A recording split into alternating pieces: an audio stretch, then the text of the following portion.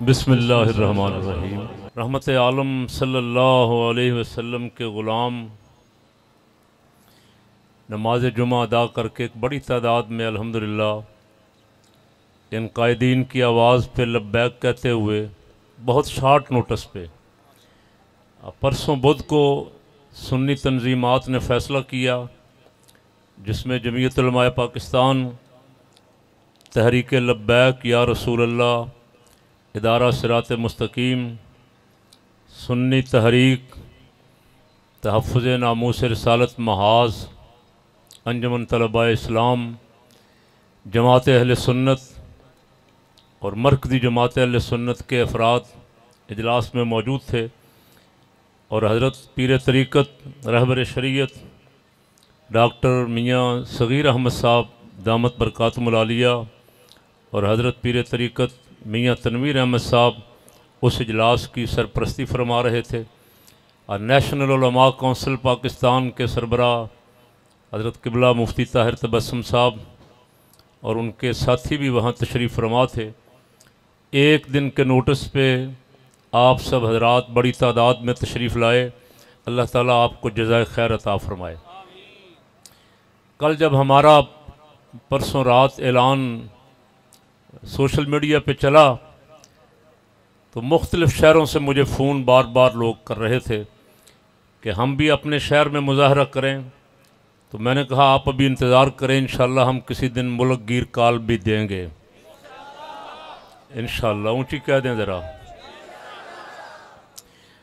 Doctor Mohammad Ashraf Asaf Jalali साहब, दामत बरक़ात मलालिया, अकायद अहल सुन्नत के तहफ़ के लिए बड़ी मज़बूत चट्टान की तरह खड़े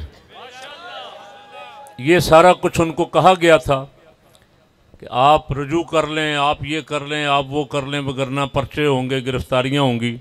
मेरी भी उनसे एक मुलाकात हुई थी उनकी गिरफ्तारी से पहले, लेकिन मैं अल्हम्दुलिल्लाह उन्हें खराज तहसीन पेश करता हूँ कि वो अपने मौक़ पे बड़ी मजबूती के साथ खड़े रहे। उन्होंने कहा, कोई बात नहीं गिरफ्तारियाँ होती हैं तो हज़रत इमाम अहमद बिन हम्बल के ग़ुलामों ने भी तो किरदार अदा करना है ना?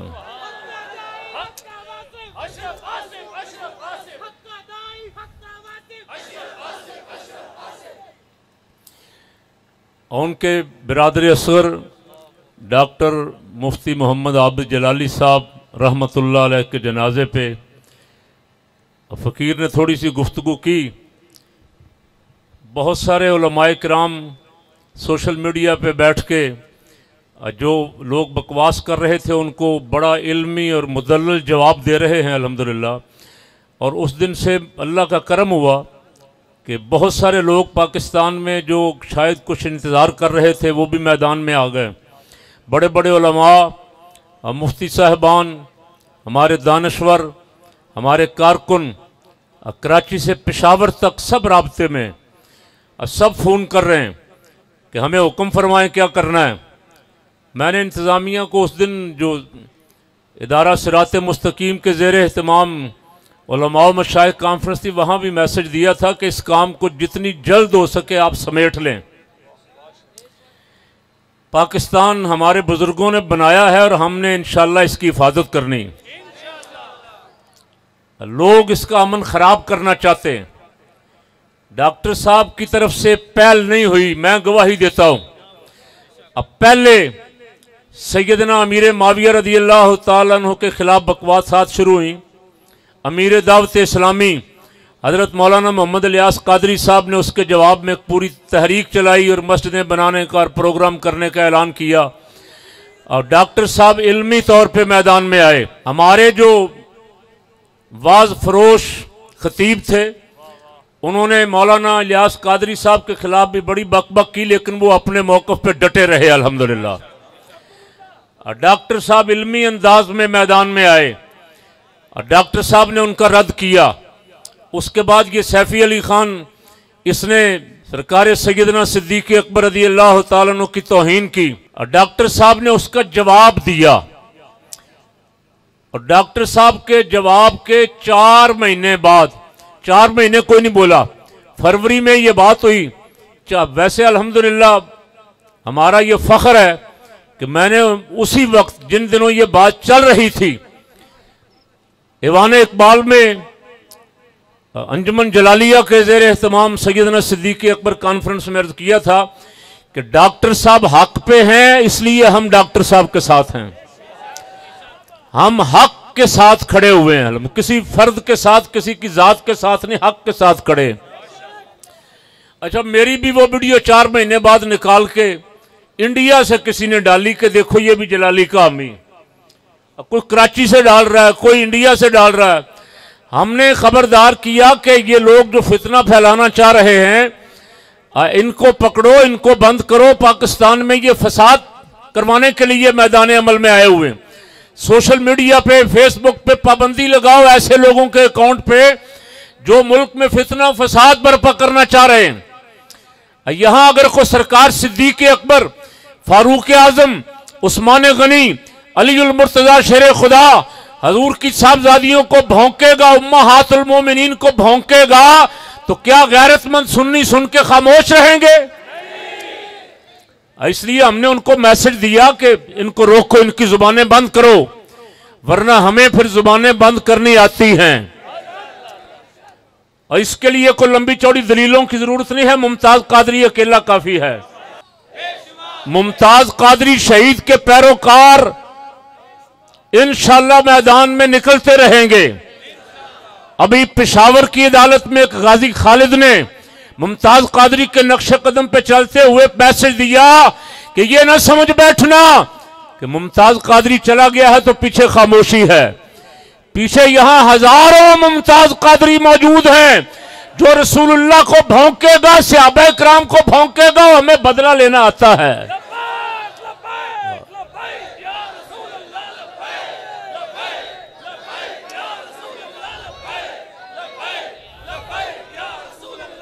अच्छा उसका जिसने ये काम शुरू किया, अब तक टीवी पे बैठ के जिस खातून ने, उसके खिलाफ अब तक कोई पर्चा नहीं हुआ। डॉक्टर साहब ने जवाब दिया उसको।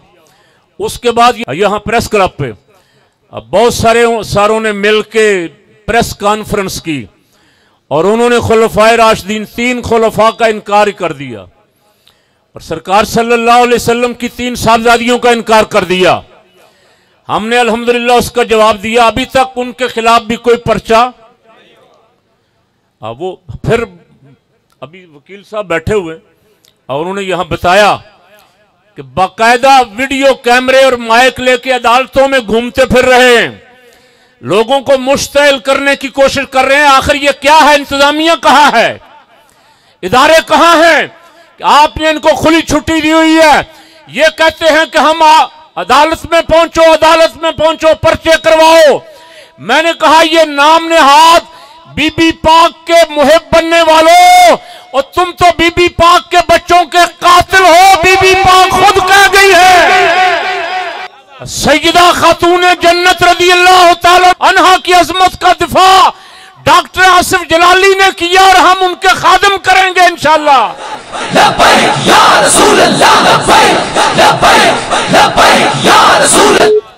ये मेरे सारे सीनियर अकाबरीन बुज़ुर्ग उलमा मुफ्ती साहबान तशरीफ़ फरमा है। ये बात अपनी तरफ़ से नहीं कह रहा इनकी सारी किताबों में मौजूद है। इमाम अली मकाम रज़ी अल्लाह तु की शहादत के बाद जब ये कर रहे थे ना तो सैयदा जैनब रदी अल्लाह तला ने कहा, जालिमो, खुद बुलाया, खुद कत्ल किया और खुद अब ये तमाशा कर रहे हो। क्यों जी?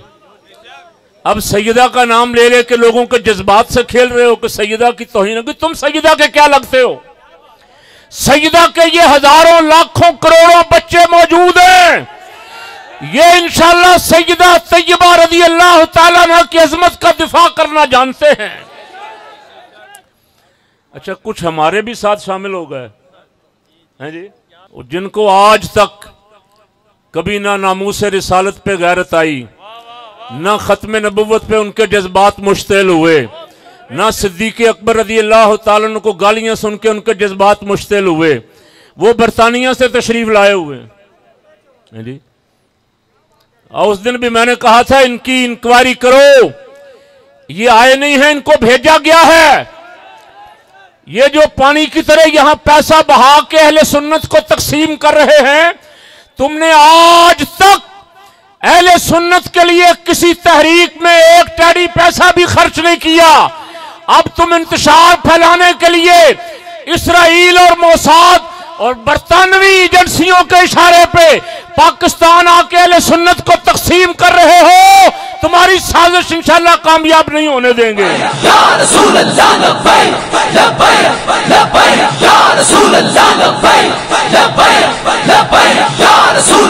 लोगों को समझ आ गई है। बहुत सारे शहरों में लोगों ने इनके जलसे नहीं होने दिए। और उस्ताजुलमा शेखुल हदीस हज़रत मुफ्ती अब्दुल लतीफ़ साहब अल्लाह उनको से तंदरुस्ती अता फरमाए। उस दिन मेरी मौजूदगी में फरमा रहे थे कि ये जो कल तक हीरो था, आज ज़ीरो हो गया। अहल सुन्नत के खिलाफ सहाबा कराम और उम्मातुलमोमिनीन और बता- बनाते ताहरात के दुश्मनों के साथ खड़े हो गए तो एक सेकंड भी नहीं लगेगा। ये कौम जिस तरह सरों पे बिठाती है, उतार के फेंक भी देती है। लीडर खामोश हैं, लेकिन कारकुनों के जज्बात सुनो, मैं रोज सुनता हूँ, रोज टेलीफोन मुझे आ रहे हैं। पूरे मुल्क में हैदराबाद, कराची, पूरा सिंध, पंजाब, बलूचिस्तान, खैबर पख्तूनख्वा, गिलगित बल्तिस्तान, कारकुनों के फ़ोन आ रहे हैं कि आप हक के लिए खड़े हैं। आप डॉक्टर अशरफ आसिफ जलाली साहब के साथ खड़े होके आपने हक का साथ दिया। आप अकायद इस्लाम को, अकायद सुन्नत को बचाने के लिए खड़े हैं, हम आपके साथ हैं। हमारे जिन हजरात के मुजाकरात इंतज़ामिया से हो रहे हैं और उनको पता है कि उनको मैसेज ये दिया गया है इंतज़ामिया को बार बार बार बार उनसे कहा गया है कि मुहर्रम आने से पहले पहले ये मामला समेट लो। डॉक्टर साहब की एफआईआर जाली है, उसमें कुछ नहीं है। अगर दयानतदारी से पहले दिन मजिस्ट्रेट पे कोई दबाव ना होता, वो देखती इसे तो उसी दिन ये एफआईआर खारिज हो जाती। झूठी एफआईआर है। एफआईआर के पल्ले कुछ नहीं है। लेकिन उस एफआईआर पे एक बंदे को पकड़ के जेल में बंद किया हुआ महीना हो गया और दूसरों को धमकियाँ दे रहे हैं। हाई कोर्ट में, सेशन कोर्ट में, मजिस्ट्रेट की अदालत में वो दो तीन बदमाश फिर के धमकियाँ दे रहे हैं कि कारी जवार बहादुर के खिलाफ भी दरखास्त दे दी है, चंद दिनों तक पर्चा हो जाएगा। फलां के खिलाफ दरखास्त दे दी है, चंद दिनों तक पर्चा हो जाएगा। अल्लाह की इज़्ज़त की कसम, एक पर्चा नहीं, हज़ारों पर्चे करवाओ, हम अजमत से अब्बा का दिफा करेंगे डरने वाले नहीं, सब पर्चे करवाओ।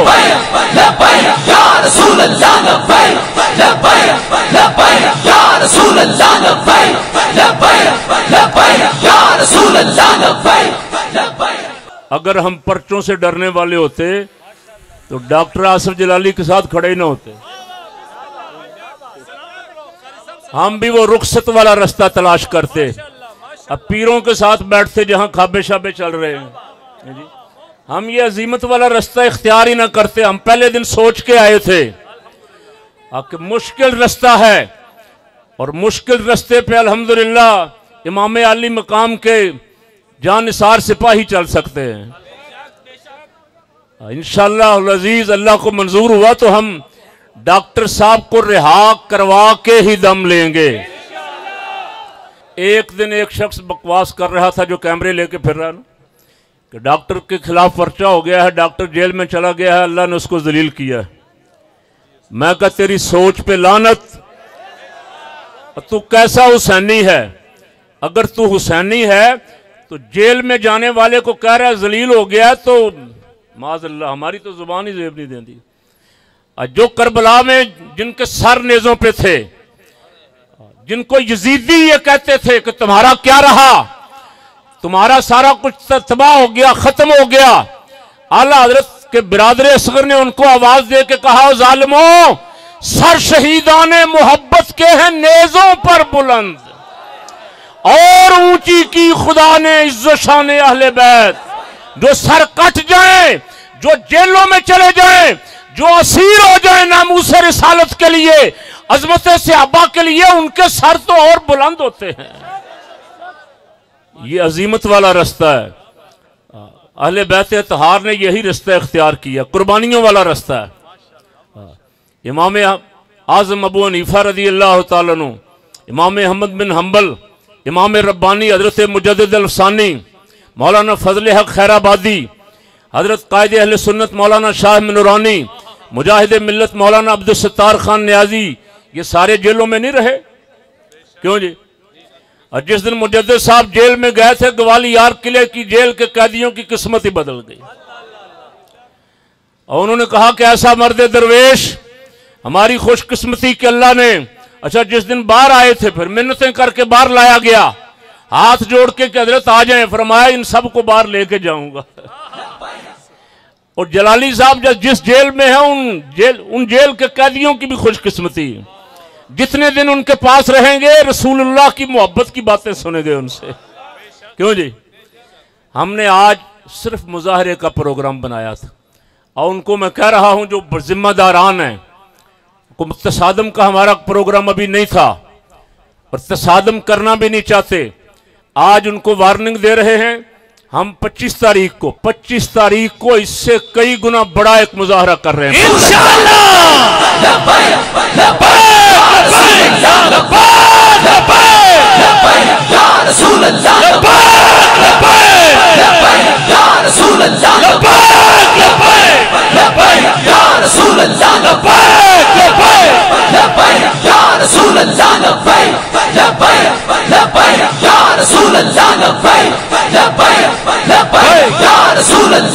हज़रत मौलाना फरमान अली साहब जो कायम मकाम अमीर हैं, मुझे उन्होंने कहा था कि हफ़्ते को रख लें ताकि दूसरे शहरों से भी लोग आ सकें। लेकिन हम आज ये मुजाहरा करना चाहते थे, अल्हम्दुलिल्लाह। आपने हमारी आवाज़ पे लब्बैक कहा। ये हफ़्ते को इसलिए चाहते थे कि दूसरे शहरों से भी लोग आना चाहते हैं बहुत सारे। अब हमें टाइम मिल गया। कुर्बो जवार के जितने शहर हैं, वहाँ से भी इंशाल्लाह आशकान रसूल आना चाहते हैं। बड़ी तादाद में आएँगे, फिर हम ये बैरियर तोड़ देंगे। आज हमने आपकी बात मानी। कल आप हमारी माने इसी तरह काम चल सकता है। ऐसे नहीं कि रोज हम आपकी बात मानेंगे। आज हमने आपकी बात मानी है, आप डॉक्टर साहब को 25 से पहले पहले रिहा कर दें। तो हम शुक्रिया अदा करके वापस चले जाएँगे। अगर डॉक्टर साहब को आपने 25 तक रिहा ना किया तो हम ये सारे बैरियर तोड़ेंगे, इंशाल्लाह।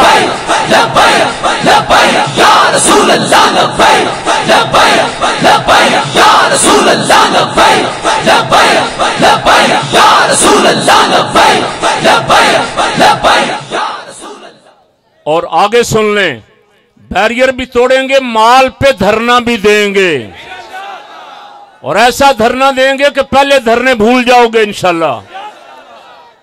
ना हक एक बंदे को पकड़ के बंद किया हुआ है।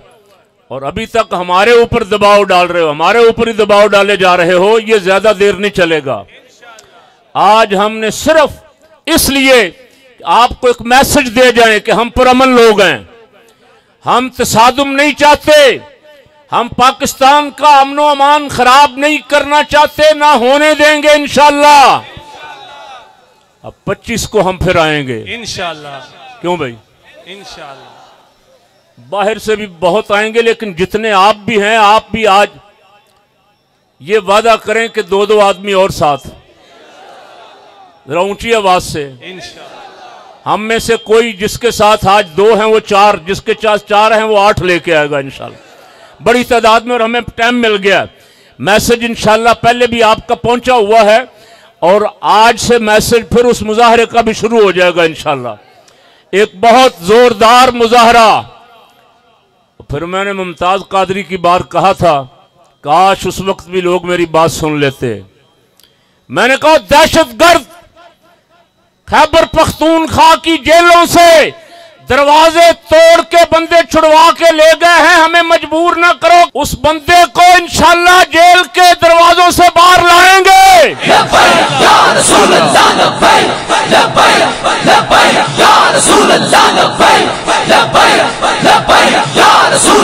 इंतजामिया हमारे साथ एक आधे दिन के अंदर अंदर।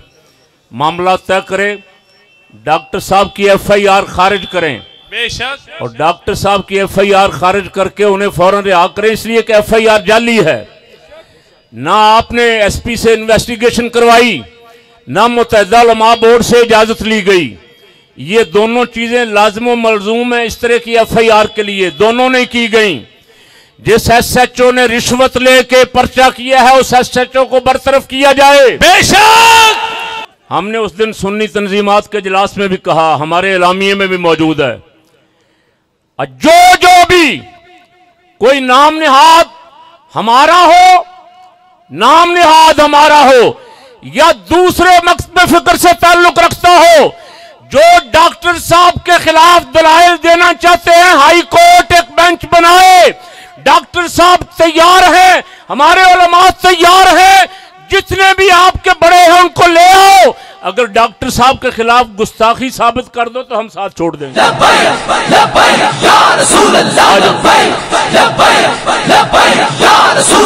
अदालत में आ जाओ। बाहर लड़ाई लड़ने की बजाय अदालत में अदालत का बेंच बनाओ हाई कोर्ट का। और वहाँ अपने जितने आपके बड़े बड़े हैं ले आओ ऐसे किताबें उठा के इधर उधर बकवास करते फिरते हैं।